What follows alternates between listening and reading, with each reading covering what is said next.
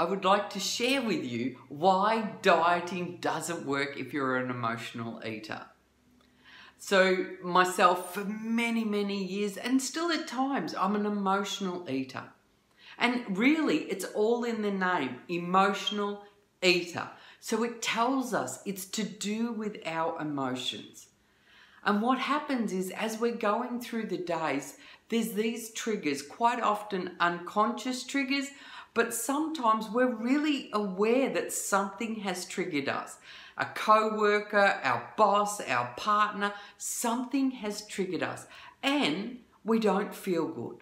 So there's something going on inside of us that doesn't feel good.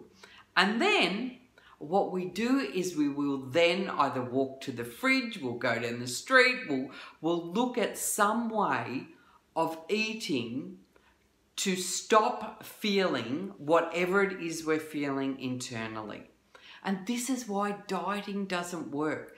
Because you can, I remember years ago hearing Oprah say that she still can devour a whole bowl of lettuce and it still means that she's emotionally eating. It just means that she's choosing better food to eat, but it's still not fixing the real problem. And the real problem is we need to look at some of them triggers, whatever they may be, and we need to work out is it the same thing that's triggering us all the time?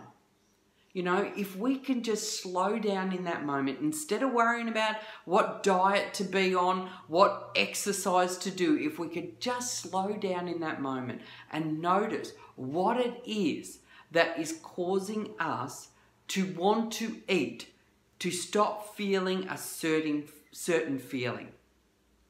And then by eliminating the trigger, once and for all, like once you find the trigger, you can eliminate it. Triggers can be deleted. And when you delete the trigger, you're not having to worry about the willpower not to eat what you, you know you don't want to be eating.